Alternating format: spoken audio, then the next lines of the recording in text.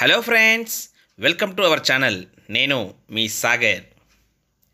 ఈ మధ్యలో బాగా ట్రెండింగ్ టాపిక్ ఏంటంటే బైకాట్ చైనా ప్రొడక్ట్స్ ఇది నిజంగా సాధ్యమా? అలా చేయడం వలన నిజంగానే చైనా నష్టపోతుందా? అని తెలుసుకునే ముందు మీరు నా ఛానల్ని కొత్తగా చూస్తున్న వారైతే నా ఛానల్ని సబ్స్క్రైబ్ చేయండి.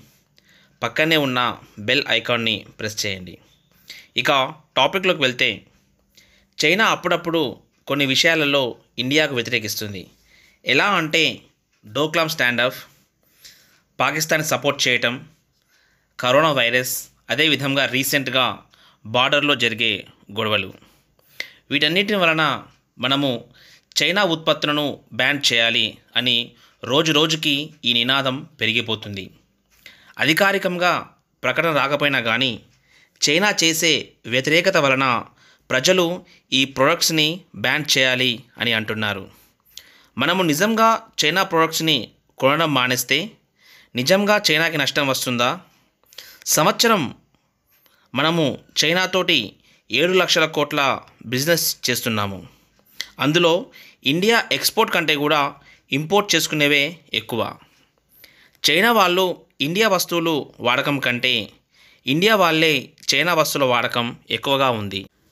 అయితే ఈసారి మాత్రం ఆల్ ఇండియా ట్రేడర్స్ అసోసియేషన్ వాళ్ళు చైనా గూడ్స్ బహిష్కరిద్దాం అని పిలుపునిచ్చారు. కానీ చైనా వస్తువులు ఏవి అని ముందు మనం తెలుసుకోవాలి. బెంగాల్లో చైనాపై నిరసన తెలుపుతూ అక్కడి స్థానిక ఒక పార్టీ నాయకులు కార్యకర్తలు కొరియా నాయకుడు కిమ్ దిష్టిబొమ్మను తగిలబెట్టినట్లు మీడియాలో కథనాలు వచ్చాయి. కిమ్ను జిన్పింగ్ను గుర్తుపట్టలేని పరిస్థితిలో మనం ఉన్నాము ఎందుకంటే వారిద్దరూ ఒకేలా ఉంటారు కాబట్టి. అలాగే ఇప్పుడు ఏది చైనా వస్తువు ఏది ఇండియా వస్తువు గుర్తుపట్టడం కష్టంగా ఉంది. ఉదాహరణకు చెప్పాలంటే వివో ఒప్పో మీ షవోమి పేర్లు చూస్తే చైనీస్ ప్రొడక్ట్లా కనబడతాయి. కాబట్టి వీటిని మనము బహిష్కరించగలము. లేకపోతే ఇక ముందైనా ఈ కంపెనీల ఫోన్స్ మనం కొనకూడదు అని అనుకుంటే ఒప్పో ఫోన్ ఇది చైనా దేశానికి చెందిన కంపెనీ. కానీ ప్రొడక్షన్ మాత్రం మన ఇండియాలో తయారవుతుంది. మన ప్రధానమంత్రి గారు మేక్ ఇన్ ఇండియా అనే నినాదంతో ఇండియా మ్యానుఫ్యాక్చర్ పెంచాలి లేబర్ ఎంప్లాయ్మెంట్ పెరుగుతుంది అని మన ప్రధానమంత్రి గారు చెప్తున్నారు. విదేశీ పెట్టుబడులు ఆహ్వానించడం వలన మన దేశంలో ఐదు వందల శాతం చైనా పెట్టుబడులు పెరిగాయి. కానీ ఇప్పుడు చైనాను బహిష్కరించాలి అంటే ఏది బహిష్కరించాలి అనే స్పష్టత మనకు ఉండాలి.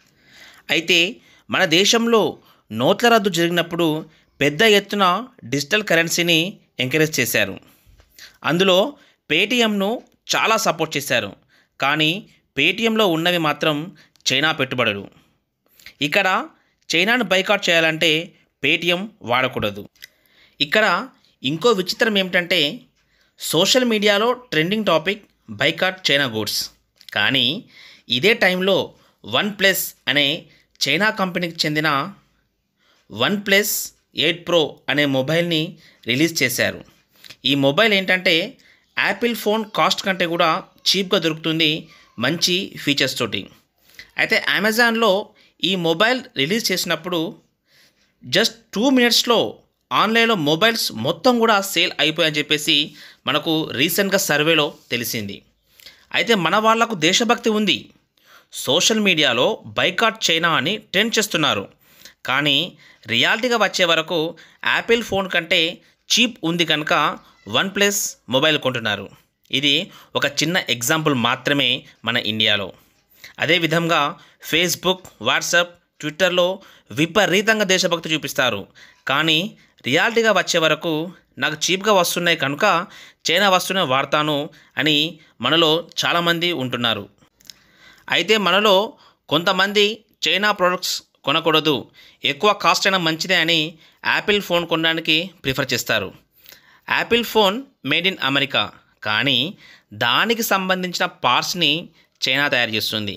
మనం యాపిల్ ఫోన్ కొన్నా కానీ చైనా దేశ ఆర్థిక వ్యవస్థ బలపడుతుంది.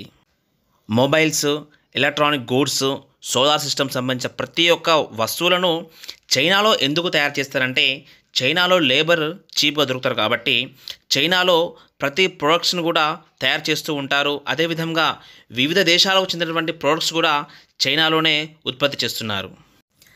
అలాగే స్నాప్డీల్ ఫ్లిప్కార్ట్ లాంటి కంపెనీస్లో చైనా పెట్టుబడులు ఉన్నాయి.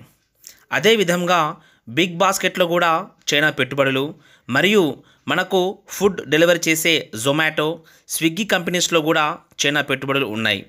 అదేవిధంగా ఓలా క్యాబ్స్లో కూడా చైనా పెట్టుబడులు ఉన్నాయి.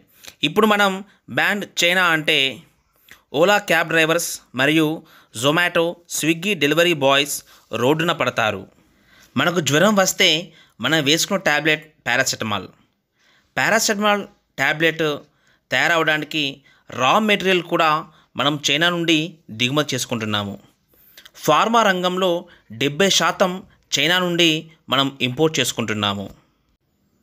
అదేవిధంగా ఆన్లైన్ క్లాసెస్ వినాలి అంటే మనం వాడే మొబైల్ యాప్ బైజు. ఇందులో కూడా చైనా పెట్టుబడులు ఉన్నాయి. బైజు యాప్కి బ్రాండ్ అంబాసిడర్గా ఒక ప్రముఖ తెలుగు హీరో కూడా అడ్వర్టైజ్ చేస్తున్నాడు. అలాగే Ahmedabad to Godhra road construction కూడా చైనాకు చెందిన కంపెనీ చేపట్టింది.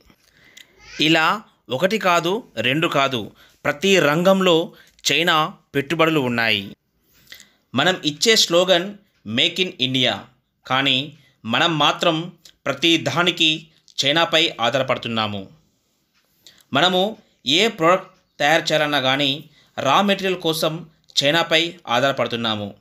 మనము ఇచ్చే నినాదాలు బాగున్నాయి కానీ ఆచరణకు వచ్చేసరికి సాధ్యం అవటలేదు.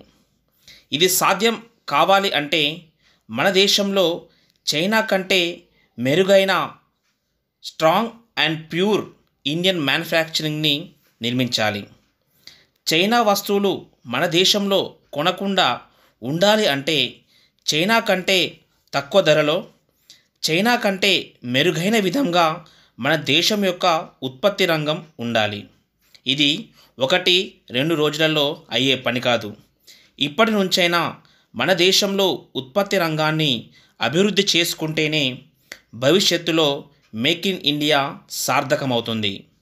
Thank you. ఫ్రెండ్స్ ఈ వీడియో కనుక మీకు నచ్చితే లైక్ చేయండి కామెంట్ చేయండి ఈ వీడియోని షేర్ చేయండి. మరిన్ని వీడియోల కోసం మన ఛానల్ను సబ్స్క్రైబ్ చేయండి. సబ్స్క్రైబ్ చేసిన వెంటనే పక్కనే ఉన్న బెల్ ఐకాన్ని ప్రెస్ చేయండి. సైనింగ్ ఆఫ్ మీ సాగర్.